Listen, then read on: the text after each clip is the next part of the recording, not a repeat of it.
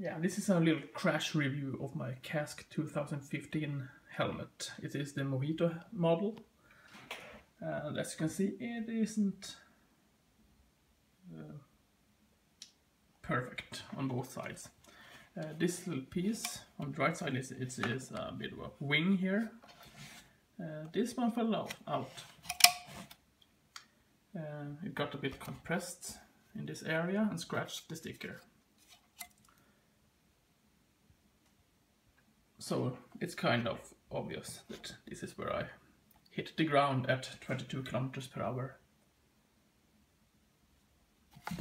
I uh, was going home from work and I, yeah, I fell over the bike. So I had a headache for about 36 hours and I went to the doctors and they said I had no neurological symptoms, so that was good. I kind of scratched myself a bit on the, on the knees and my elbow and hurt my hip and axle, but yeah, it's it's uh, all right. I'm getting better. Uh, as you can see in the Strava log over here, I was uh, starting to pull some wattage over here, and uh, the blue graph is the speed. I was starting to pull, go up in speed, and it came to a quick halt. I lay there for a while, prob probably the logging uh, auto stopped and I gathered myself, picked up my glasses and everything that fell off and I started walking, feeling that this was okay, straightened the, the steering and uh, then I started riding my bike again because it was kind of boring to walk and I went home. Uh, would I buy this helmet again? It is a very comfortable helmet. I really enjoy having it on me.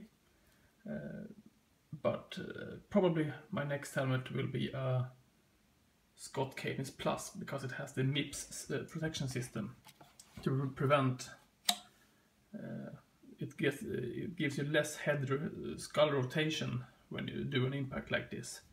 So safety, yeah, it's kind of gotten more higher in the priority. And if you do like me, going home from work in Sweden, you have probably a good insurance, so I'm getting fully compensated for my uh, financial loss buying new clothes and a new a new helmet. But uh, if you're looking for a com comfortable helmet and a good looking helmet, for sure, go to Kask.